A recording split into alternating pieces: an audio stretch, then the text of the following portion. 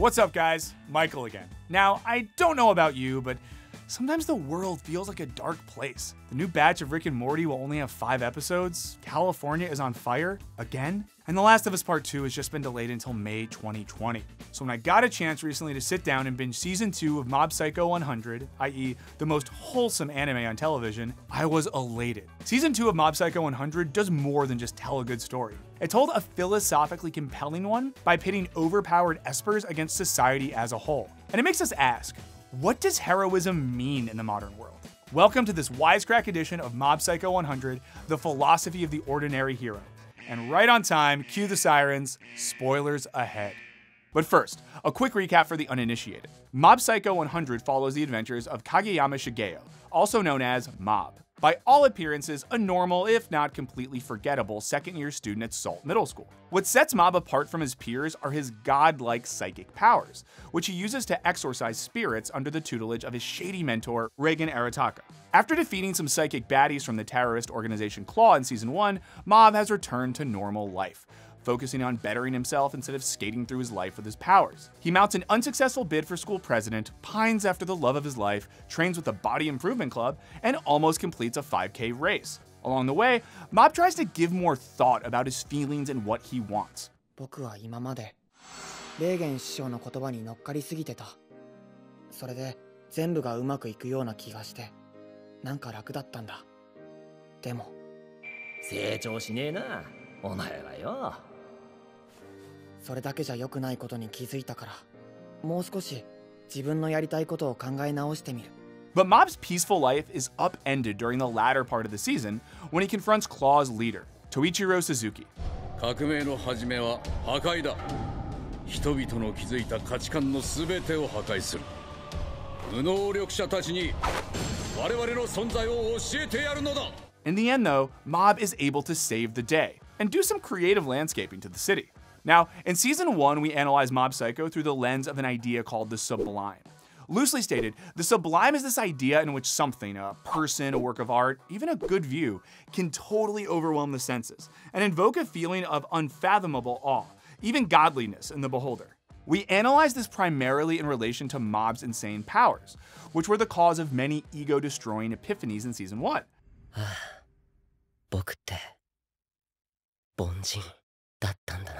But in season two, we'd like to look at another prevailing question in the show how characters find value in their lives. After all, everyone, from the good guys to the bad guys to the in between, is determined to be someone.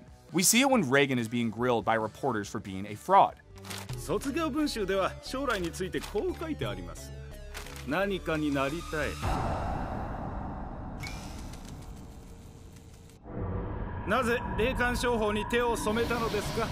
And we see it when the leader of Claw proclaims this. There's a world of difference between Reigen and Suzuki, but the main thing they clash on is this. Should we define our value from within society or without? Should a person try to make their mark upon society from above like our antagonist? Or should they make their mark from below like Mob? In order to really make sense of this question, we first have to lay some philosophical groundwork. In its characters searching for value, Mob Psycho invokes the work of social theorist and Nobel laureate Ernest Becker. According to Becker, humans are unique amongst animals because they're self-aware. But this knowledge comes at a pretty hefty price. In his book, The Denial of Death, he writes, Man is literally split in two. He has an awareness of his own splendid uniqueness and that he sticks out of nature with a towering majesty, and yet, he goes back into the ground a few feet in order blindly and dumbly to rot and disappear forever. In other words, man is also the only animal that truly knows it will inevitably die. And since we can't literally overcome our impending deaths, Becker believes we feel compelled to symbolically transcend it. To him, this is heroism, the desire to make something of your life, be remembered, and in the process, reach a sort of symbolic immortality. It's the reason why Egyptian pharaohs built massive pyramids, and it's the same reason why characters in Mob Psycho seem hellbent on being special.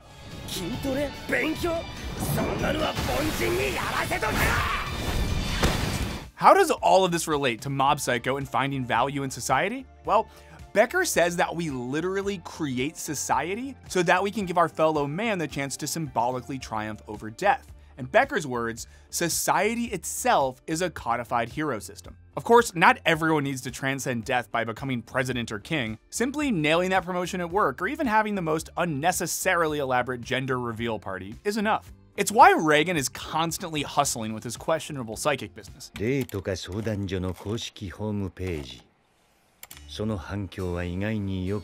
依頼される内容も本格的な除霊が増えつつあった。And it's why Mob is trying so hard to impress Tsubomi. The important thing to Becker isn't to question which cultural hero channels are real. They're all symbolic after all. But rather, which ones are best for the individual. Is it really best for characters like Teru to define his self-worth in terms of his powers? Should Mob really be focusing on getting muscles? According to Becker, we all must ask ourselves, what is illusionary? What prevents the health, the coping with new problems, the life and survival of a given society? What are its real possibilities within the web of fictions in which it is suspended? In other words, we must decide what is the most appropriate way to feel significant in our own lives. Should we march to our own tune, or should we march to that of society's? In the former camp, we have almost all of our antagonists in Mob Psycho 100, who believe their psychic powers make them better than everyone else and exempt from the rules governing normal society. In season one, we saw characters like Teru emerge, another student at the neighboring middle school who believes his Esper abilities make him better than everyone else. Teru even later goes so far to call himself the main character of his world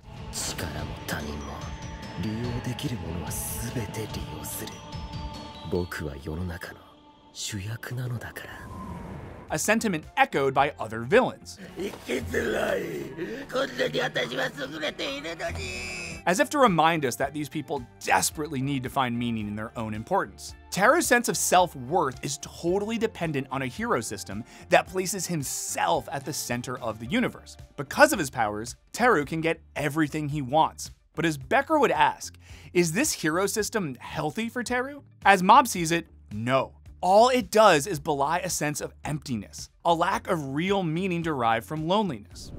これは同族嫌悪だ花沢君は僕に少し似てる超能力を持ってるところじゃなくて自分に全然自信がないところ自分から超能力を取ったら何も残らない Mob chooses to largely reject his godlike powers, instead finding value in self-mastery, society, and the normal people around him. All of this despite Ma becoming the literal and unknowing figurehead of an entire religion.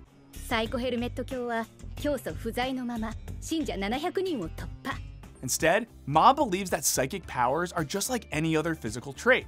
As the faux psychic Reigen puts it best, 俺たちは人とは違う特別な力を生まれ持ったわけだが決して自分を特別な存在だと勘違いしてはいけない by refusing to put psychic powers on a pedestal, Mob chooses instead to praise ordinary humanity, social connections, and the interdependence that comes with living in society. As he tells a group of foot soldiers in Claw, it's only through society that we can create even the most basic things.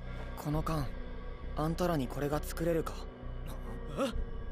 このサンドイッチに挟まってる野菜を育てられるかさっき壊したガラスのドア自分で直せるか 当たりが出たらもう一個なんてアイデア超能力で思いつくか何が言いたいあんたたちは力が使えるくらいで自分が大きな存在だと勘違いしているだけだ人に助けられて生きてるってことそれに気づいた方がいいよ Of course, Mob's view is ultimately challenged in the season's end by Claw's big bad boss, Suzuki.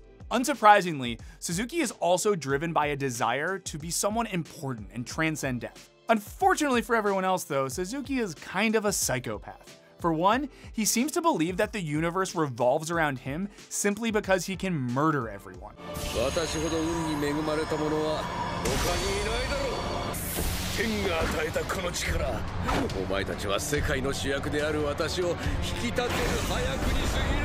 私ほど運に恵まれた者は他にいないだろう天が与えたこの力お前たちは世界の主役である私を引き立てる早くに過ぎない More worrying still, Suzuki has completely rejected the cultural hero systems that regular society has created. He scoffs at the idea that he might have to take into account the needs of others. 私が誰よりもポジティブでいられる秘訣は他人の気持ちに全く配慮せずに生きてきたからだ And when faced with the prospect of destroying his hometown and everyone in it, he doesn't flinch. やっぱり思い出深いですか当時のご友人もまだ住んでるんじゃないですかね 当時の友思い出か特にないな なんなら全て破壊しても構わない Of course, Becker would say this cruel indifference and the bloodlust it breeds is also symptomatic of man's desire to transcend death. In his book, Escape from Evil, Becker writes It is obvious that man kills to cleanse the earth of tainted ones. And that is what victory means and how it commemorates his life and power.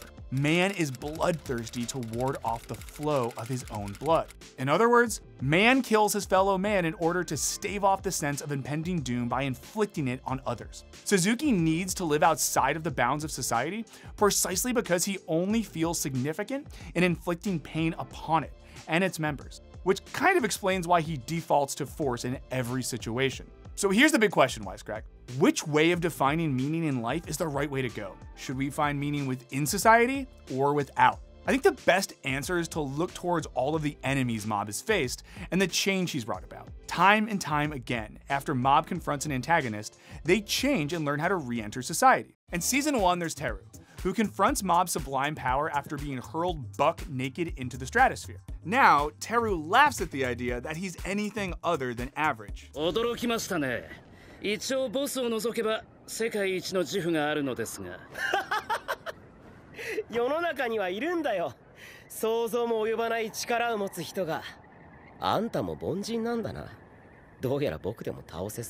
Likewise, there are the members of Division 7, who, following their defeat at the hands of Mob, decide to become Reigen's disciples. 私たち第7支部のメンバーは組織を抜けたのさ中学生のグループに壊滅させられて自分たちの愚かさに気づいたんだ Perhaps the most striking transformations, though, are the ones that happen at the end of season 2. First, there's Sarazawa, the completely unaware henchman who thinks that the terrorist organization is a legitimate business. 芹沢私はお前の素質を高く買っているヨシフに手加減しただろう冷徹で傲慢な前向きさを身につけろ。そうすればお前も私のようになれる。そうか。頑張れば俺も社長に。Originally a shut-in, Serizawa thinks he's re-entering society under Suzuki's watchful eye, but instead, he's made to hurt people, in the process, making his severe anxiety worse. However, it's not until he attacks Mob that all of this changes. When Mob absorbs his psychic energy and then directs it back to him, the two end up exchanging memories and emotions in the process. そうか。彼も俺と同じ。This is what society ultimately means to Mob a new way of forging meaningful bonds between its members to change for the better. 人は人との関わり合いで変わることができるみんなのおかげで僕は変わった一人で生きる僕より少し強い僕になったんだ僕が変われたならきっと誰でもそうなんだ Ultimately, it's these very bonds with society that allows Mob to triumph over Suzuki, creating the final and most impactful character transformation in the process. Whereas Suzuki's own power literally consumes him, Mob is only able to control his own tremendous power because of his relationship with his brother.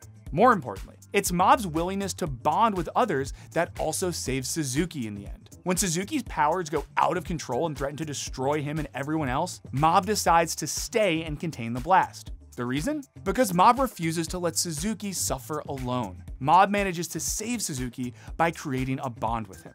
だから自分で選んでここに来たいくら嫌いな相手でもたった一人で苦しんでいるなんてやっぱりかわいそうだしだから助ける